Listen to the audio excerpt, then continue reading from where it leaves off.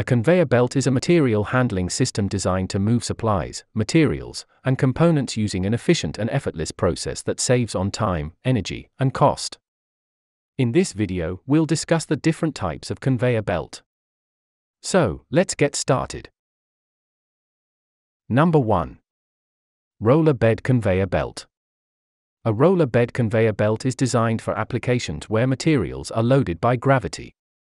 They are an ideal solution for conditions where materials have to be moved over long distances since they are designed to reduce friction. Number 2. Flat belt conveyor belt.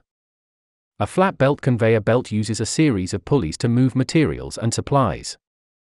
Its belt is made of natural or synthetic materials, this makes it versatile and adaptable to varying conditions and applications.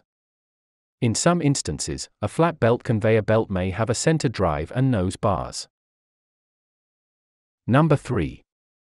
Modular conveyor belt.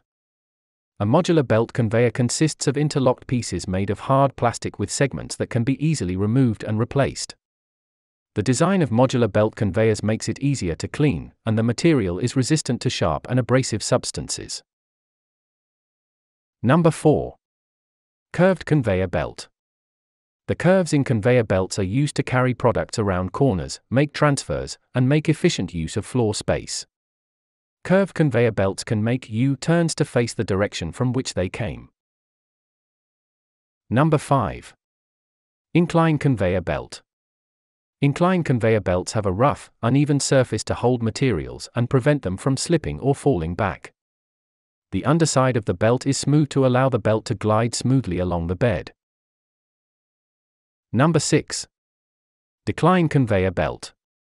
The purpose of a decline conveyor belt is to move products or materials down or change their height. As with the incline version of conveyor belts, a decline conveyor belt has a rough surface or cleats to prevent materials from slipping or falling. Number 7. Filter conveyor belt.